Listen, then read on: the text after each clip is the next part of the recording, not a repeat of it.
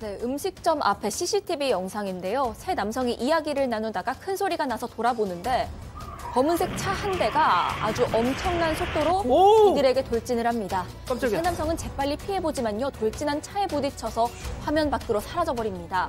노란색 옷을 입은 남성은 충돌과 함께 붕 떴다가 바닥으로 떨어지는데 바로 일어나서 절뚝거리며 사고 현장을 빠져나오는 모습입니다. 어. 허리를 부여잡고 멀찍이 떨어진 곳에서 이내 주저앉고 말았습니다.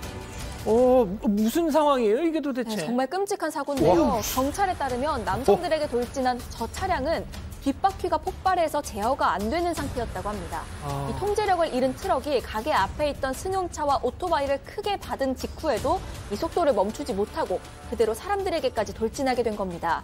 이 사고 현장은 보시다시피 아수라장이 됐습니다. 오토바이도 차도 형체를 알아볼 수 없을 정도로 파손이 됐습니다.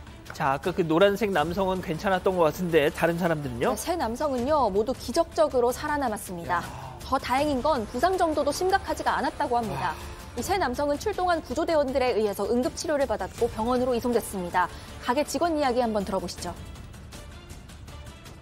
พอเราออกมาก็คือทุกอย่างกระจายไปหมดแล้วขับมาด้วยความเร็วมากอะค่ะ คือดูจากในกล้องอะกล้องของที่ร้านอะดูแบบใช่ดีโชคดีที่ที่ลูกค้าไม่เป็นไรมากค่ะ 네, 가게는 현재 많이 복구가 된 상태지만요. 아직까지도 사고 당시의 파편들이 곳곳에 널브러져 있습니다. 가게로 돌진한 차량 운전자도 부상을 입고 병원에 이송됐습니다. 경찰은 사고 차량이 가게로 돌진하기 전에도 이미 인도에 한 차례 부딪힌 걸 확인을 했고요. 이 운전자를 난폭 운전 그리고 공공기물 파손 혐의로 기소할 거라고 전했습니다. 아직 안 끝났습니다. 이거 눌러주세요.